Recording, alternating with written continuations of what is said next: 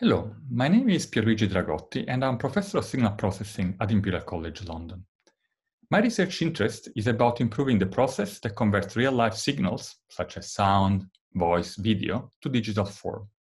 This process is also used to form MR images, for example, or in digital microscopes.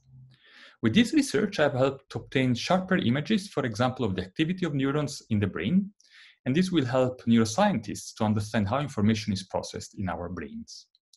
More recently, I've been working with researchers at the National Gallery and developed with them a new algorithm to help visualize hidden drawings beneath Leonardo da Vinci's painting called The Virgin of the Rocks. You can read about this research in the article on the Imperial College website linked beneath this video.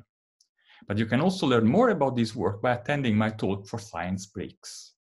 So join me for Science Breaks on Thursday, the 10th of September at 12.30 to hear about my latest research and to join a live question and answer session. Thank you. Bye.